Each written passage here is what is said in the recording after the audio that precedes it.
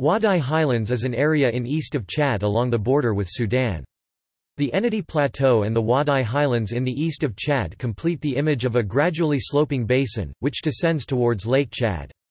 There are also central highlands in the Guera region rising to 1,500 metres 4,921 feet. Water systems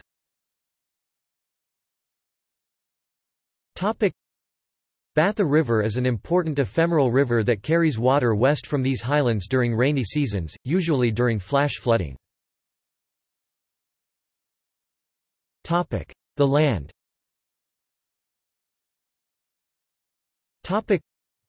Ouaddaï Highlands mark Chad's eastern border and also divide the Chad and Nile watersheds. These highland areas are part of the East Saharan montane xeric woodlands ecoregion. Yellow Nile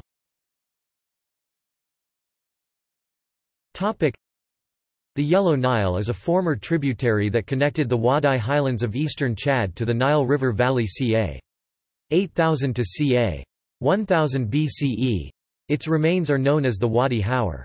The wadi passes through West Darfur near the northern border with Chad and meets up with the Nile near the southern point of the Great Bend.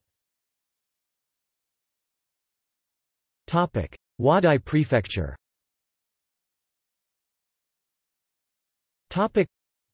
Wadai Prefecture was one of the 14 prefectures of Chad. Located in the east of the country, Wadai covered an area of 76,240 square kilometers and had a population of 543,900 in 1993.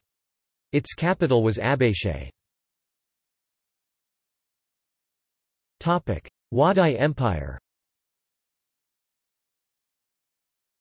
The Wadai Empire 1635 also Wadai Empire was originally a non-Muslim kingdom, located to the east of Lake Chad in present-day Chad. It emerged in the 16th century as an offshoot of the Sultanate of Darfur in present-day Sudan to the northeast of the Kingdom of Baguirmi. See also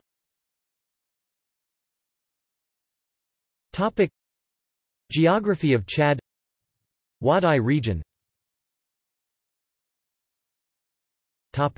References